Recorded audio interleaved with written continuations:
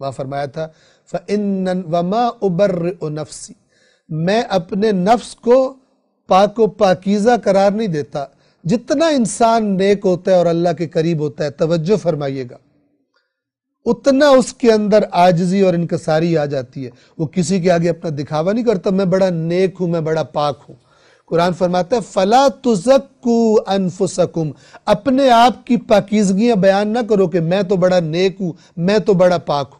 फला तुजक्कू अनफुसकुम हुआ आलम बेमन तका अल्लाह सबसे बेहतर जानता है कौन मुत्तकी है लिहाजा अल्लाह को असल में तो अल्लाह ने तुम्हें अजर देना है ना लिहाजा तुम लोगों को बताने की कोशिश ना करो अल्लाह को बताओ कि तुम नेक हो और अल्लाह तुम्हारे दिल से वाकिफ लोगों को अपनी नेकियाँ गिनवा कर और बताकर मैंने ये भी किया मैंने ये भी किया मैंने ये भी किया वो एक हल्का सा जोक आपको सुना दूँ कि एक शख्स नमाज़ पढ़ रहा था और उसके साथ उसका एक दोस्त बैठा हुआ था।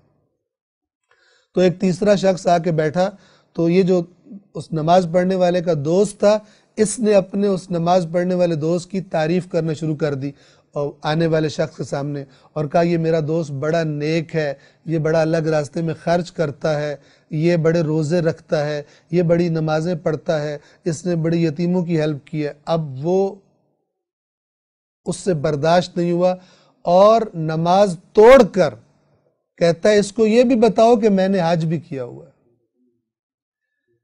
बाज लोगों का जज्बा जो होता है, अपनी अगर छोटा सा नेक काम कर ले उनका दिल करता है सारी दुनिया को पता लगे।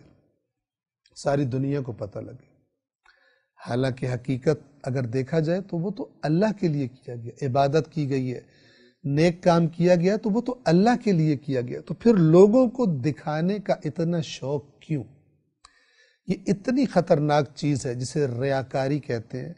ये शैतान की इतनी खतरनाक, इतना खतरनाक हरबा है कि जिसके ज़रिए इंसान का किया हुआ नेक काम शैतान ज़ाया करवा देता। किया हुआ नेक काम ज़ाया करवा देता। और रिवायात के मुताबिक ऐसे शख्स क़यामत के दिन कहा कहा जाएगा कि तुमने जो अजर चाहा था वो ले लिया दुनिया से, जिनके लिए किया था, जिनको दिखाने के लिए उनसे अजर मांगो।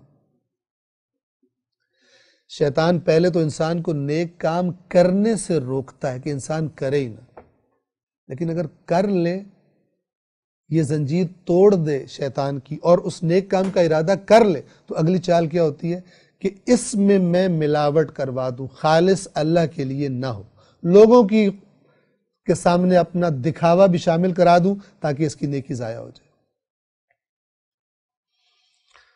तो हज़रत यूसुफ ने उसी तरह फरमाया कि वमा उबर नफसी, मैं अपने नफ्स को बरी, बहुत पाको पाकिज़ा करार नहीं देता। क्यों?